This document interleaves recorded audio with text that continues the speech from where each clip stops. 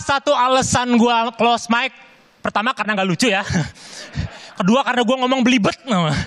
Gue trauma stand up gue kalau belibet lagi gimana? Gue kalau belibet lagi gimana? Udah, belibet lagi, udah udah, udah belibet. Gue sampai latihan tau gak gimana supaya nggak belibet, gimana supaya nggak belibet. Latihan-latihan kata-kata atau nggak melatih melatih kata yang tongkat kontak tongkol kontak tongkat tongkol kontak tongkat tongkat. Bisa kan? Bisa bisa nggak lo? Nggak bisa kan coba?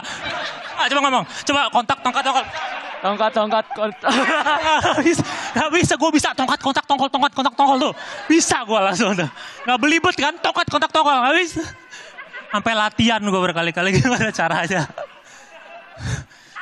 Terus uh, ya itu gue dipanggil senior karena stand up udah lama dari 2011 ikutan ini banyak yang bilang ah bang Kuku mah ikut stand up buat ngisi waktu aja ngisi waktu pala lo.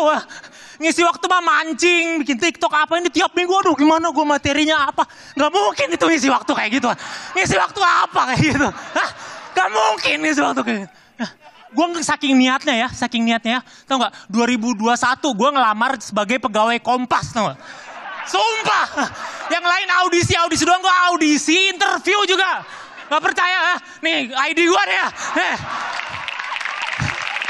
Pegawai Kompas gue. Gue kerja juga di Kompas, gaji gak seberapa.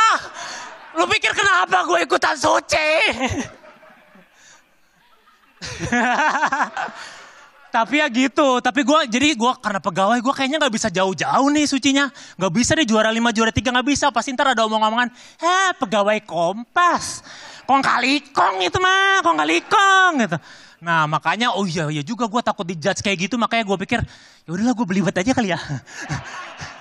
Biar gak ketahuan amat CO2 lah ya CO2 gitu. Jadi gue belibet gitu. Jadi gitu alasannya ya. Enggak sih sedih juga sebenarnya sedih sedih. Udah gitu pada berani banget baca-baca komen tuh si Irfan baca komen. Gue nggak berani baca komen YouTube gue loh. Nggak berani. Serem banget itu. Itu bukan komen tuh nggak. Death threat semua itu. Tuh gitu.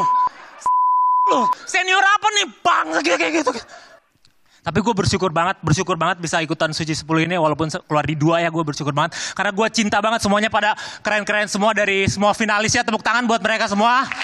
Buat semua tim produksi, buat semua panitia, bahkan buat semua penontonnya yang di rumah yang di mana pun. Keren banget semua. Kecuali bahkan yang komen-komen jahat pun gue masih bisa ngerti kenapa mereka kayak gitu kecewa. Yang gue gak ngerti ini ada satu orang nih ya. Namanya Bonar Manalu. Hah? Gue nggak ngerti dia ada masalah apa sama gue ya. Jadi mungkin Mbak Nirina nggak tahu, Mas Gilang nggak tahu. Jadi Bonar ini ya di show kedua, di show gue keluar ngerosting gue, ngerosting gue. Padahal tema roasting juga belum ada dia ngerosting gue. Padahal pas di backstage dia lagi kebingungan. Gue nanya kenapa Bonar gitu. Ini mau ganti materi bang, ganti materi jangan bonar gue kayak gitu. Sebagai senior ya kan.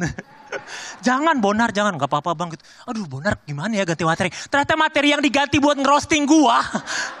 Dia bilang, bang kuku ini udah senior ya. Punchline cuma dua gitu. Padahal tiga ya. bonar terus.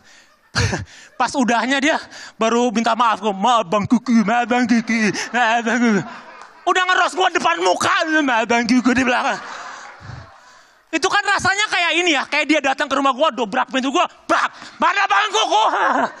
Terus dia semua lemari gua, depan muka gua gitu, bang, bonar kenapa? Terus dia, maaf bang kuku, maaf bang kuku, kayak gitu.